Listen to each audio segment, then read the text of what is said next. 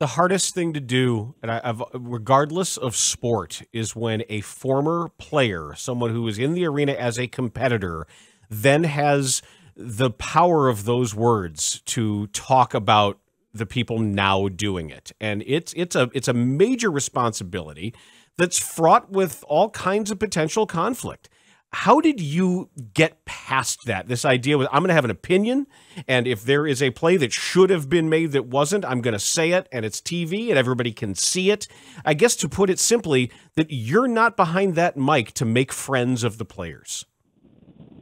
Yeah, I, I think you know knowing what it was like, you know, being being on the other side and, and hearing both fair and unfair criticism, right? That's that's kind of the world that we all signed up for. And you know, as a young player, maybe you're a little more sensitive to it, and as you get older, you you kind of realize what matters and what doesn't. But all I've ever, the deal I've kind of made with myself entering this world is, I'm never going to attack the guy, right? I'm never going to call into question, you know, call into question their commitment, their you know, I'm never going to if you're playing in the NFL, you've earned the respect to be treated and talked to the right way, respectfully, and and that's something that I feel strongly about. But at the same time, if there was a mistake, if the play was designed to to you know in some other capacity than the way you see it, and if a guy's supposed to run a route at a certain depth and he cuts it short, and that then there's an interception, you know, whatever the case may be, it's our job as analysts to inform the viewer why a play was successful, but then also why a particular play was not successful. And typically that falls on the shoulders of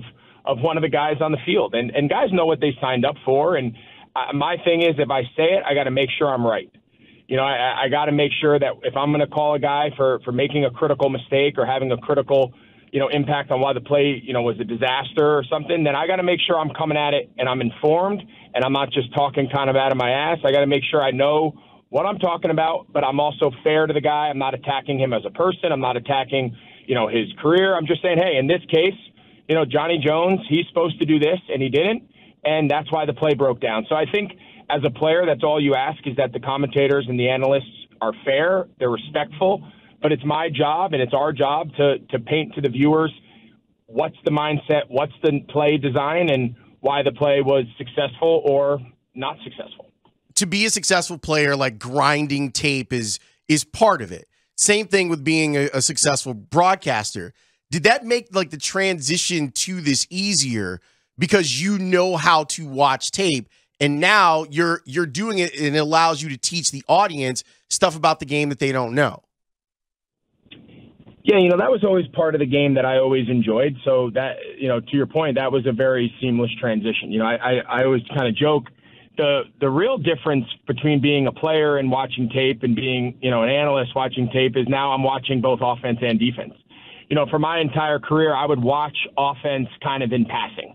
I would watch other tight ends. I would watch other offenses who I thought were creative or did cool things, but I was never actually studying the the ideology, studying the formations and the patterns, and and really, you know, because I was spending all my time looking at defenses. So now, you know, after you're, you know, you're preparing for two games, you're watching two teams on defense, and then you're flipping it around and you're watching two teams on offense, and you're studying special teams. So there's a little bit more of like an an overarching study of the team, which has been kind of cool. You know, being able to, you know, talk offensive ball with Sean McVay, and Matt LaFleur, and and some of these offensive minds who you didn't really spend a lot of time as a player studying it. That wasn't really my job during the year. I needed to know what Bill Belichick was doing, and I needed to know what Ron, you know, when we played against Ron, what he was doing, you know, so that's been really cool. Um, I've enjoyed that part of the game, but um, yeah, it, it, listen, if, if you put on that TV and you tune into a game and the commentator, the analyst, if they don't know what they're talking about, it's very easy. You can't hide calling a game. You've got to understand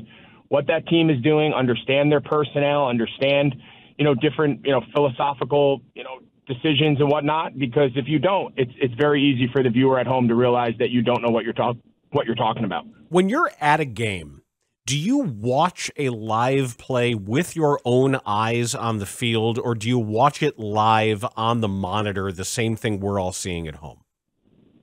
Yeah, so my, my approach is I watch the play live. I, I watch it. So my setup is I have, you know, obviously I'm watching it live from the press box, from the booth. And then on my monitors, I have a regular like a regular TV cam. It, it would be in essence the production cam that you would see at home on the broadcast. Whatever you're seeing on the home broadcast, I have a camera that shows that. Um, and then I also have like a sky cam, and the sky cam is on a little bit of a delay, like a three or four second delay. So I can watch the play unfold. I like watching the all 22 with my eyes live. And then based on what happens, I can then confirm on the delay just to make sure I know it was number 52 and he started at Mike linebacker because he had the sack. Because in those couple seconds, your play by play guys wrapping up his call, they're cueing the, the instant replay on your telestrator. And then you know exactly when that telestrator camera comes up, you just confirmed. You saw it live, you confirmed it on the delay. So now when you go live on the telestrator to describe to the viewers at home, you know, why it was a sack or who got beat or whatever, you really are confident and sure where the guy started from, what kind of move he used. So there's a little bit of a process there, both seeing it live and using your monitors as tools. That in those four or five seconds, you can piece it together. So now when you try to explain it to the viewers, you're very, very confident that what you saw is what happened, and now you can explain it as such. Are you harder on tight ends than other positions, and is that okay? I don't know about harder. I probably watch it more than the traditional. You know, I think everybody watch every analyst that calls games has their own biases, right? We see a ton of quarterbacks. Obviously, a ton of quarterbacks call games. Um, that's kind of always been the way it's been. It's you know, there's a lot of them now, but with Troy and Tony and whatnot.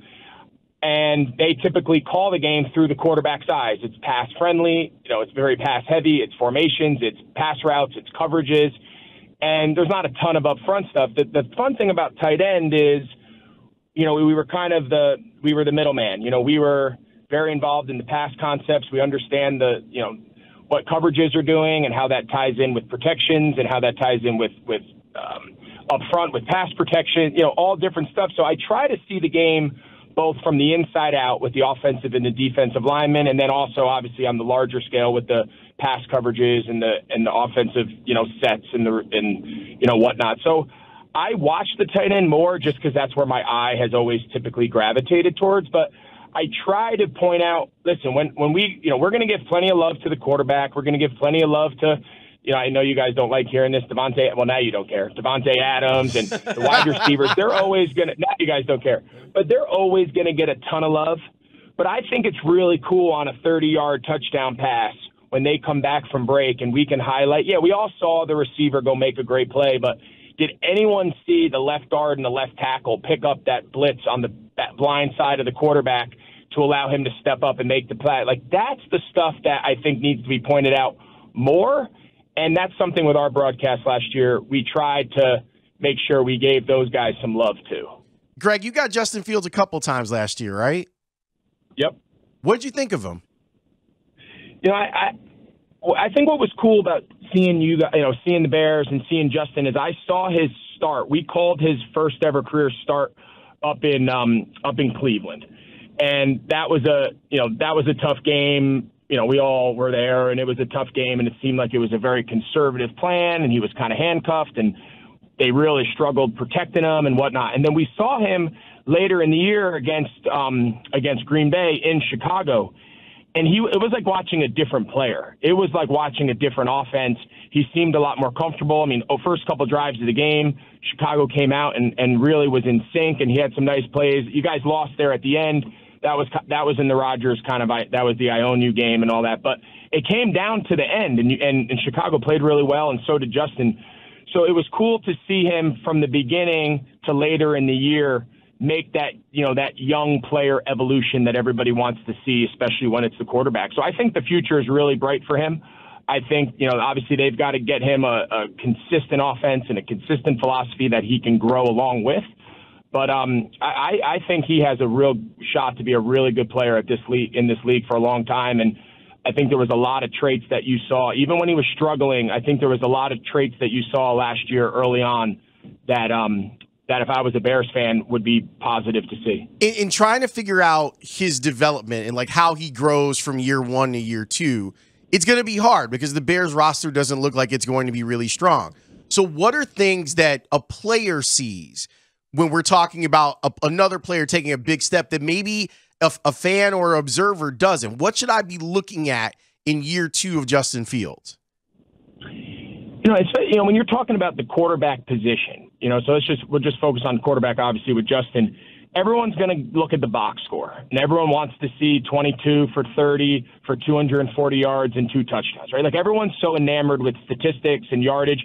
And and don't get me wrong, this is a production-based league. You are judged by your production. But I think early on, right? And you know, you think of the games last year.